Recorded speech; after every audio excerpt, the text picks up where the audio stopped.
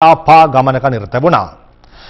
පාර්ලිමේන්තු වටරවම අසලට පැමිණි ස්තරසාවේ සිසුන්ව විසුරුවා හැරීමට පොලිසිය කඳුළු ගෑස් සහ ජල ප්‍රහාර එල්ල කළා. ප්‍රතිත්‍රස්ත පනත අහෝසි කිරීම හා තවත් ඉල්ලීම් කිහිපයක් මුල් කරගනිමින් සිසුන් මෙම විරෝධතාව ආරම්භ කළේ කොළඹ සෞන්දර්ය විශ්වවිද්‍යාලය අසලින්. සිසුන් රාජගිරි හරහා බත්තර මුල්ල පාර්ලිමේන්තු සංකීර්ණයේ දෙසට ගමන් කළා. ලොකු මහත්තයා ඔයාලා මේ පාර අරස් කළා. හරිද අපිට යන්න දෙන්නේ නැතුව අපි ප්‍රශ්න කරලා ආවේ. කවුද ලොකු මහත්තයෙක් ඉන්නේ? කවුරු නැද්ද? ඉන්නවද? හරි. එහිදී සිසුන් බලධාරීන් සමග සාකච්ඡාවක් ඉල්ලුව අතර ඊට පොලිසිය එකඟ වූයේ නැහැ.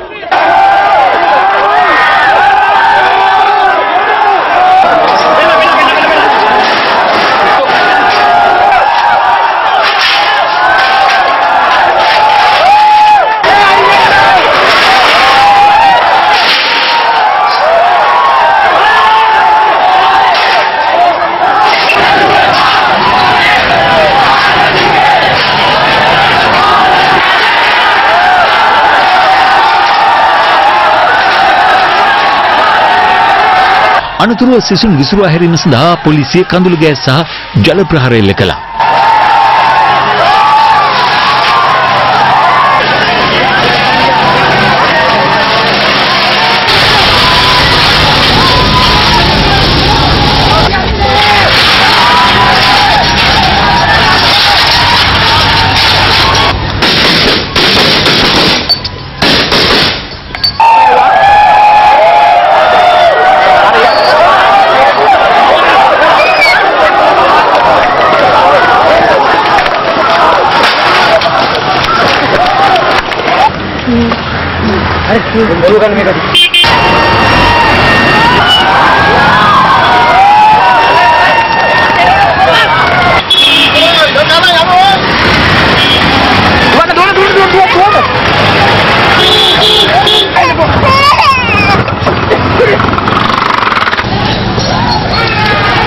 नई अंतर विश्वविद्यालय शिष्य बाल मंडली के महिल भंडार देहिदी अतरंगी गिनती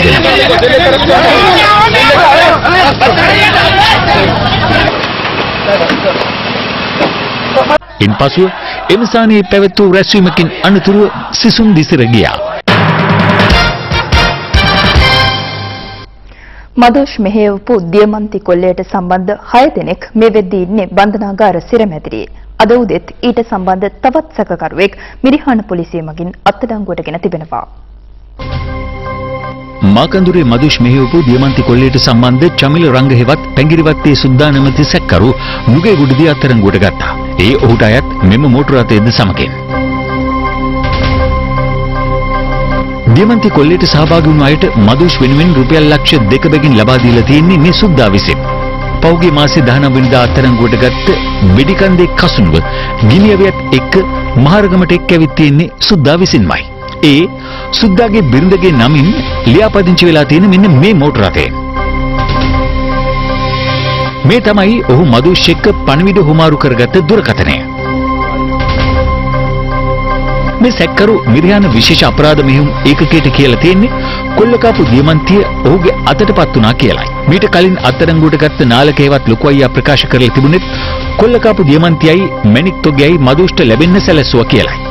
කොහොම වුණත් තෙව්මා නැමැත්තා ළඟ තිබිලා සොයාගත්ත මේ පාෂාණයත් එක්ක ඒ කතාව ටිකක් වෙනස් පැත්තකට යොමු වුණා. ඒ පාෂාණයේ තත්ත්වය පරීක්ෂා කරන්න මැණිකා ස්වර්ණාභරණ අධිකාරියට රැගෙන ගිය වෙලාවේ ලබාගත් වීඩියෝවක් තමයි මේ. ස්වර්ණාභරණ අධිකාරියට අනුව නම් මෙය පිට්ස්බර්ග් වර්ගයේ පාෂාණයක් මිස දියමන්තියක් නොවේ. මේ අතර මදුෂ් එක්ක අත්අඩංගුවට පත් වුණු කංජිපාන් ඉම්රාන්ගේ සමීපතිවෙක් වුණු මොහමඩ් ෂම්මුවේවත් ජීබුම්බා ඊයේ රෑ පොලිස් විශේෂ කාර්ය බලකාය අත්අඩංගුවට ගත්තා. ඒ ගම්පල ප්‍රදේශයේ සැඟව සිටියේදී පසුගිය මාසයේ කොටහෙන්නේදී කුඩුචූටි නැමැති කාන්තාවකට වෙඩි තැබුවේ මේ ජී බුම්බා බවටයි අනාවරණය වෙලා තිබෙන්නේ. කංජිපාන් ඉම්රාන්ගේ උපදෙස් පරිදි සිදු කරපු ඒ වෙඩි තැබීම සඳහා ජී බුම්බාට රුපියල් 50000ක මුදලක් ලබා දීලා කියලත් මේ වෙනකොට අනාවරණය වෙලා තියෙනවා. ඒ සමගින් අපි දැනට ඔබෙන් සමුගන්නවා. යළිත් මුණ ගැසීම රාත්‍රී 10:30ට. ඔබට සුබ රාත්‍රියක්.